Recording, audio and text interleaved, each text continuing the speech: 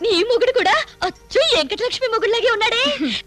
లాగా కాదే పిచ్చి వెంకటలక్ష్మి. నా మొగుడే నీ మొగుడు. నేను ఫస్ట్ నువ్వు సెకండ్.